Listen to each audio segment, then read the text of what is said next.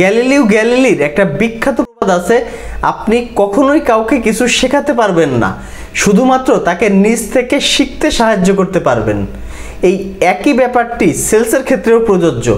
আপনি কোনো কাস্টমারকে কখনোই জোর করে কিছু কেনাতে পারবেন না, শুধুমাত্র তাকে নিজ থেকে কিনতে সাহায্য করতে পারবেন। আমরা যদি সঠিকভাবে জানি কাস্টমার আসলে কেন কেনার সিদ্ধান্ত নেয়, তাহলে তাকে কিনতে সাহায্য করাটা আমাদের জন্য সহজ হয়ে যাবে। কাস্টমার আসলে কেন কেনে, এর পেছনে সাইকোলজি কি, এই পুরো ব্যাপারটি নিয়েই আমার আজকের আলোচনা। আসসালামু আলাইকুম প্রিয় দর্শক, আপনাদের সবাইকে স্বাগত জানাচ্ছি আমি মোহাম্মদ আলী আশরাফ। চলুন শুরু করি।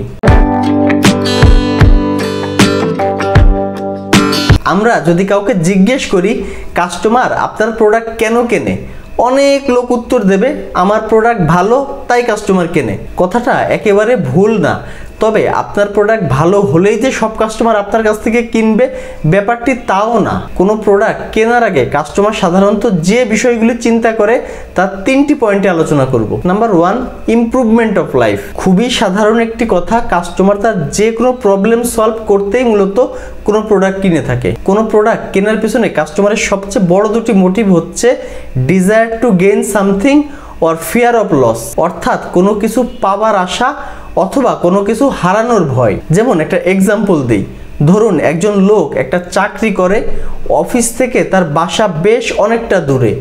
সে প্রতিদিন অনেক যুদ্ধ করে লোকাল বাসে ওঠে এবং সিট না পেলে তাকে দাঁড়িয়ে দাঁড়িয়ে অফিসে যেতে হয়। তার মাঝে মাঝে বাস পেতে দেরি হয় এবং সে দেরি করে অফিসে যায়। তো সে চিন্তা করল সে একটি মোটর সাইকেল কিনবে।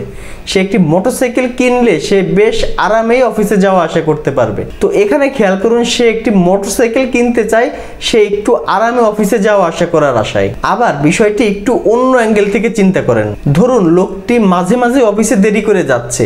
এখন একটা লোক যদি কন্টিনিউয়াস অফিসে দেরি করে যায়, তাহলে কিন্তু তার চাকরি নিয়ে টানাটানি শুরু হবে। সুতরাং চাকরি হারানোর ভয়েও কিন্তু সে মোটরসাইকেল কিনতে পারে। একটা বিষয় খেয়াল করবেন, মানুষ কিন্তু কোনো কিছু লাভ করার চেয়ে কোনো কিছু হারানোর ভয়টাকে বেশি প্রাধান্য দেয়। ধরুন, আপনি কিছু মানুষকে বলবেন, এক কিলোমিটার রাস্তা হেঁটে গেলে আপনি তাদেরকে পাঁচশো টাকা পুরস্কার দেবেন।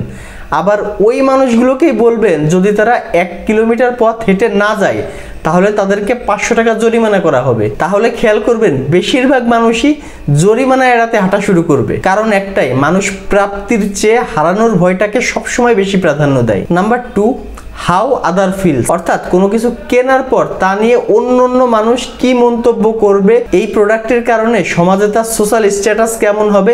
এই সব বিষয়গুলো চিন্তা করেও কিন্তু মানুষ কেনাকাটা করে। যেমন মোটরসাইকেল কেনার ব্যাপারে যে লোকটির এক্সাম্পল দিলাম, সে কিন্তু অফিসে যাওয়ার জন্য হান্ড্রেড সিসির একটি সাধারণ বাইকও কিনতে পারে, আবার ইচ্ছা করলে বেশ ব্যয়বহুল একটি স্টাইলিস্ট বাইকও কিনতে পারে। তবে নিঃসন্দেহে একটি স্টাইলিস্ট বাইক সমাজে তার স্ট্যাটাসকে আপগ্রেড করবে। এসব কথা চিন্তা করেই মানুষ এক্সপেন্সিভ অথবা রেপুটেড ব্র্যান্ডের কোনো প্রোডাক্ট কিনে থাকে।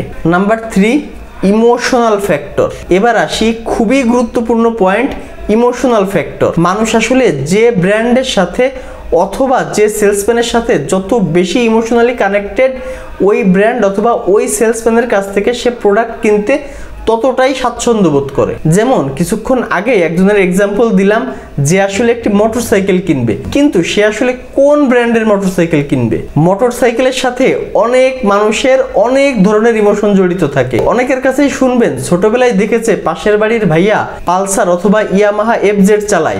তখন থেকে তার মনে একটা ইচ্ছা যে সেও বড় হয়ে একটি পালসার বা ইয়ামাহা এফজেড কিনবে। এই বিষয়টি তার সাথে ইমোশনালি কানেক্টেড এখন যখন তার মোটরসাইকেল কেনার সময় হয়েছে, এখন সে ওই ইমোশনগুলোকে কাজে লাগায়, যার মাধ্যমে সে একটি নস্টালজিক ফিলিংস পায়।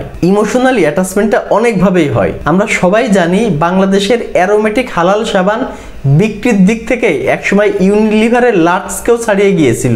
এর একটি মাত্র কারণ ছিল অ্যারোমেটিক সাবানের সাথে হালাল শব্দটা যুক্ত করে দেওয়া হয়েছিল। এই হালাল শব্দটি যুক্ত করার কারণেই অ্যারোমেটিক হালাল সাবান এদেশের বৃহৎ জনগোষ্ঠীকে ইমোশনালি অ্যাটাচ করতে পেরেছিল। এমনও শোনা গেছে, মৃত্যুর আগে অনেক মানুষ বলে গিয়েছে, মৃত্যুর পরে যেন তাকে অ্যারোমেটিক হালাল সাবান দিয়ে গোসল করানো হয়। ওনাদের অনেকেরই আবার ধারণা ছিল, এই অ্যারোমেটিক হালাল সাবানই তাকে জান্নাতে পৌঁছে দেবে। বোঝেন, ইমোশনের ঠেলা। এখন বিভিন্ন জায়গায় দেখবেন, সুদমুক্ত ঋণ হালাল ইনভেস্টমেন্ট এই হালাল, হারাম, সুদমুক্ত, বৈধ, অবৈধ, এই বিষয়গুলো মানুষকে ব্যাপকভাবে ইমোশনালি অ্যাটাচ করে। বিজনেস লজিক্যাল কিন্তু মানুষ ইমোশনাল মানুষ যে কখন কোন বিষয় নিয়ে কীভাবে ইমোশনাল হয়ে পড়ে তা বোঝা খুবই কঠিন। অনেক সময় এমন দেখবেন দোকানে গিয়ে একটি প্রোডাক্ট দেখতে চেয়েছেন, কিন্তু দোকানদার একটি জায়গায় দশটি প্রোডাক্ট আপনাকে দেখাচ্ছে। অনেকে এবার মনে করে দোকানদার এত কষ্ট করে দশটি প্রোডাক্ট দেখাল, যদি একটি প্রোডাক্টও না নেই, নিজের ভেতরে একটা অপরাধবোধ কাজ করে। এটাও কিন্তু ওয়ান কাইন্ড অফ ইমোশন তো আলোচনাটা যদি একটু রিক্যাপ করি। মানুষ আসলে তার প্রয়োজন মেটাতে বা নিড ফুলফিল করতেই যে কোনো প্রোডাক্ট কিনে থাকে, তবে এক্ষেত্রে ইমোশন এবং সোশ্যাল স্ট্যাটাসটাকে অত্যন্ত প্রাধান্য দেয়। আলোচনাটি আপনার কাছে হেল্পফুল মনে হলে ভিডিওটি শেয়ার করুন এবং এমন আরও হেল্পফুল ভিডিও পেতে আমাদের চ্যানেলটিকে সাবস্ক্রাইব করে পাশেই থাকুন। সেলস মার্কেটিং এবং বিজনেস রিলেটেড আপনার যে কোনো সমস্যা আমাদেরকে কমেন্ট অথবা ইনবক্স করে জানাতে পারেন। পরবর্তীতে আমরা সেটি নিয়ে আলোচনা করার চেষ্টা করব। পরবর্তী ভিডিও দেখার আমন্ত্রণ রইল। ধন্যবাদ সবাইকে। আল্লাহ হাফেজ।